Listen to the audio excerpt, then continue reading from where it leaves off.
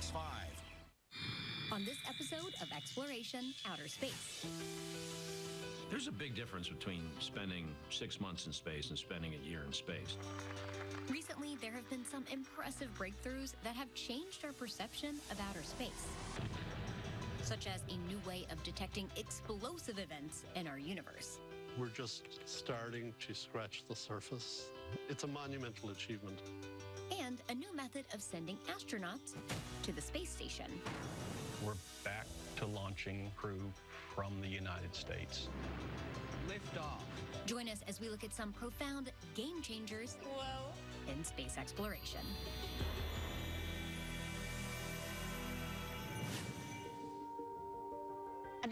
100 years ago, Albert Einstein theorized that something called gravitational waves could stretch and squeeze the literal fabric of space-time. It's a lot to take in. Well, in the 90s, scientists set out to prove this idea with the greatest scientific undertaking the National Science Foundation had ever funded. And a couple decades later, they succeeded. I'm here in Louisiana to check out one of the observatories that proved Einstein right and opened up an entirely new way to study the universe. A gravitational wave is a distortion of space, and space is a structure. In that structure, if you have some collision, then you will get ripples on that fabric, like ripples on a pond. Gravitational waves can be detected, they will help explain the formation of galaxies and the universe itself.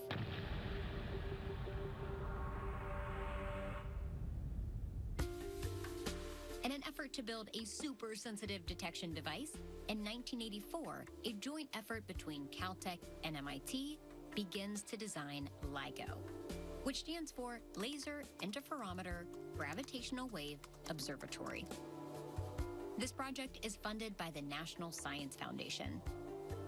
Two identical observatories are built, one in Louisiana and one in Washington. Each observatory has two L-shaped arms that are two and a half miles long. Inside these arms, a laser beam of light is generated and directed toward a beam splitter, which splits it into two distinct and equal beams. The light beams travel to a distant mirror. The mirror reflects the light back to the beam splitter, repeating this process over and over. Now you've set it up so that the wavelength of light is basically telling you that the two arms have the same length. Then a gravitational wave comes. And so if you imagine that coming down on the L of the interferometer, it will make one arm shorter and one arm longer. Our instrument has to be so precise that from here to the sun, you would have to determine that distance to the size of an atom. So that's kind of difficult to do without a very good laser, very good mirrors, very long arms, and very, very little interference from ground motion.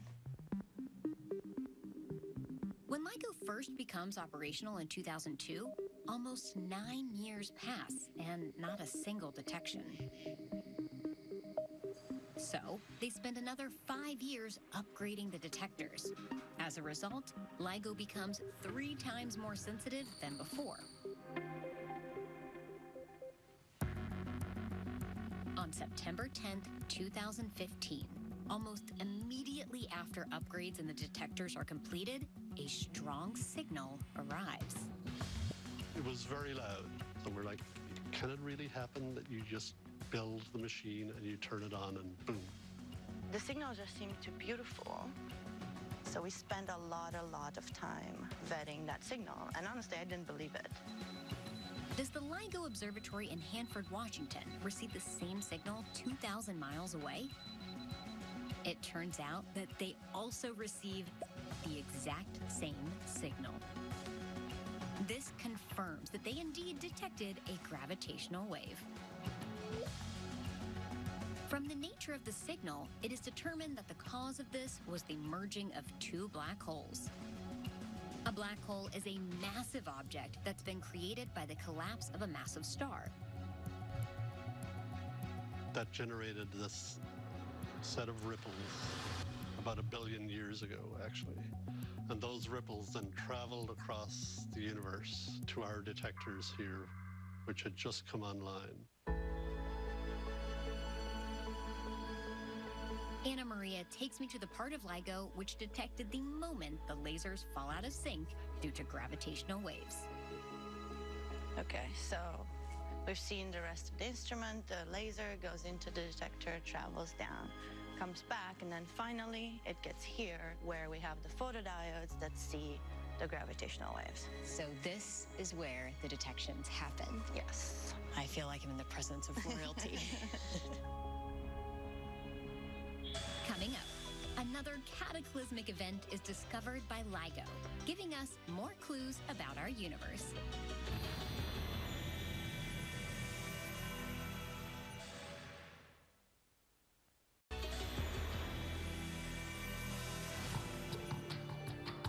To LIGO's detection system are the lasers that beam inside the two arms.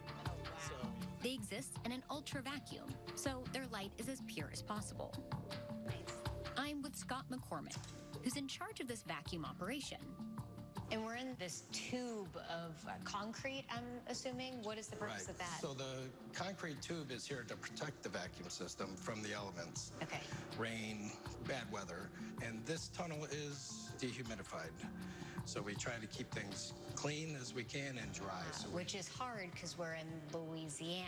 Correct. That's probably our biggest challenge, is keeping this dry and clean. When the announcement of the gravitational wave detection happened, I was just absolutely blown away, like the rest of the world. And I don't know that I'd imagined that I'd be this close to where all that magic happened. I mean, the laser is just right in here. Can I touch this? Sure. Whoa. That's pretty cool. After the first historic gravitational waves are recorded, several more gravitational waves are detected before the year is out. Since then, we've published 11 events, 10 of which were black hole events like this, and we've announced about 40 events. Because now, when we see a signal in our data, we send an announcement to the astronomical community so that telescopes can look in the sky and see if they see any associated signal. Besides black holes, LIGO Observatory detects another kind of phenomenon the merging of two neutron stars. A neutron star is the core of an exploded massive star. It's so dense that just a teaspoon of a neutron star material has the mass of a billion tons. This event occurred 130 million light years away, and thanks to LIGO, was able to be observed by many telescopes. Thanks to this incredible achievement in engineering, LIGO has opened up an entirely new way to study the universe. We're just starting to scratch the surface. We're continuing to upgrade our detectors. Eventually, we hope to be able to see gravitational waves from very, very early in the universe, from the first fractions of a second after the Big Bang. And so, LIGO is actually a first step towards understanding the origins of the universe. It was a hundred years ago when Einstein proposed the concept of gravitational waves. If he were around today, I think he'd be pretty pleased to see how his work has contributed to understanding the most fundamental questions of our existence. Coming up, we'll meet with Scott Kelly, the astronaut who spent nearly a year in space. I think it's groundbreaking and it allowed NASA to figure out how to do genetic based research in space.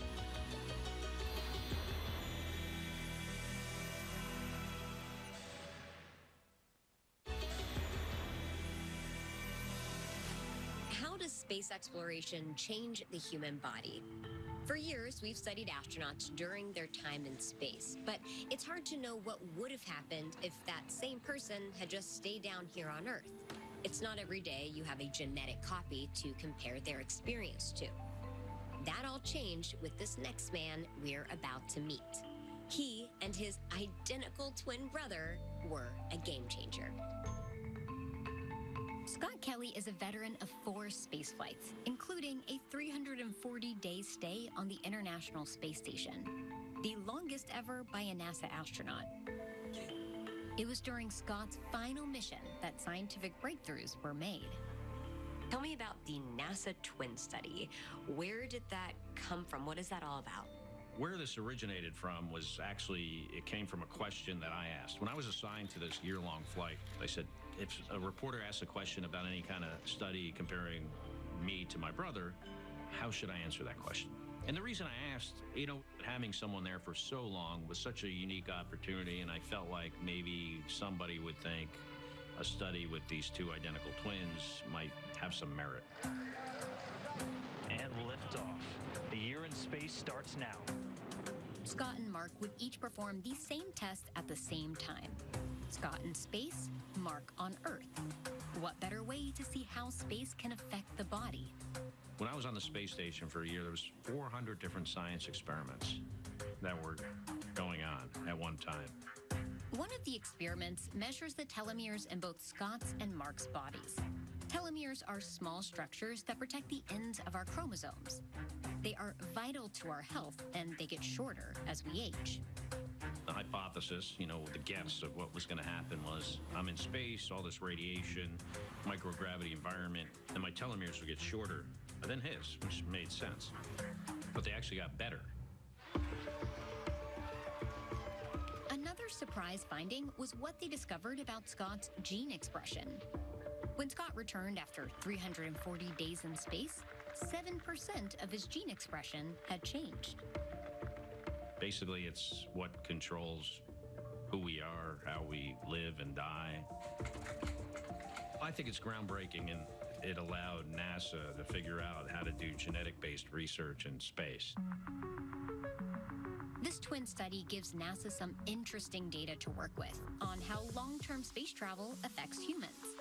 But to really get the full picture, studies will need to be done on many more astronauts because the goal is to, one day, bring human settlements to Mars. From my experience spending 340 days in microgravity, we can go to Mars. We can take 200 days to get there, and I think the crew on the Martian surface, with one third the Earth's gravity, would probably be able to function fairly well after landing. And then you're living in a gravity field for a long time, maybe a year and a half, 500 days, and then you come back, and then when you get back to Earth, you'll have people helping you. When that day comes, when we finally reach Mars and put boots on the ground, it will be achieved thanks to the contributions of one of NASA's finest astronauts, Scott Kelly. Coming up, it's been a long time since astronauts were launched from U.S. soil. Now, that's all about to change. T minus 25 seconds.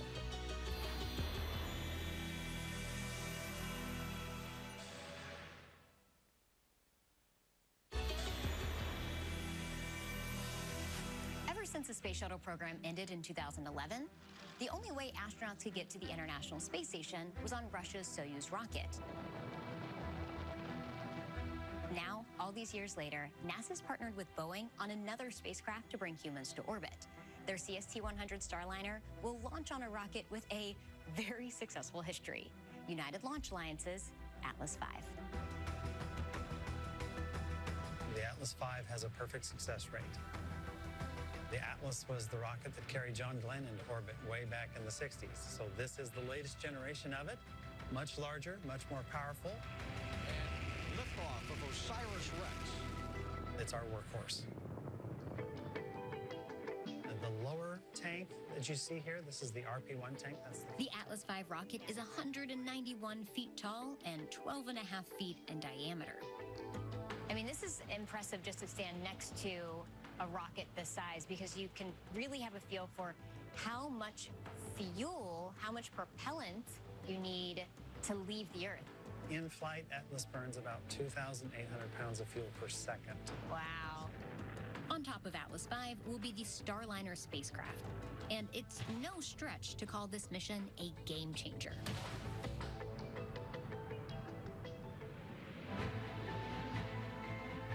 Shuttle program came to an end in 2011, NASA would hire two private companies to design and build the next generation spacecraft that will bring astronauts to and from the space station. Those two companies were SpaceX and Boeing. How will Starliner be different than the space shuttle? Big difference is, well, similarity is they both landed on land. The big difference is we do it without wheels. We return under canopy, under parachutes, and right before landing, we inflate airbags. In the past, NASA always had their capsules land in the ocean. Having them descend on land will be a first. The crew inside will experience a jolt when they finally land. How big of a jolt? You can be sure that's been well tested. Three,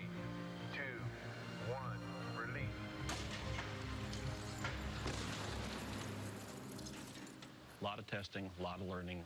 That's what gets you to a good, safe spacecraft.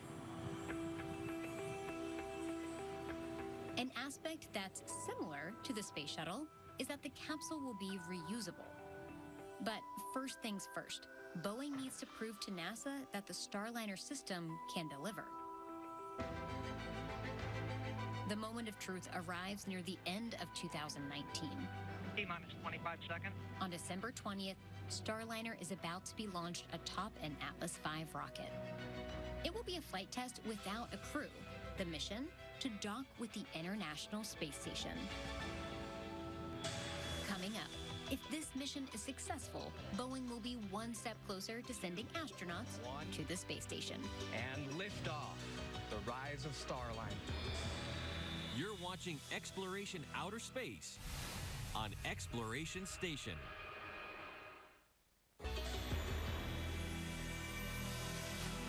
And liftoff. The rise of Starliner. In December of 2019, Starliner is launched in the early morning at Cape Canaveral. A flight test without a crew. The goal of this mission is to dock with the International Space Station and then return safely back home. Unfortunately, when Starliner reaches the stratosphere, software issues put the spacecraft in the wrong orbit. As a result, the mission is cut short, and the capsule is forced to return without docking with the space station.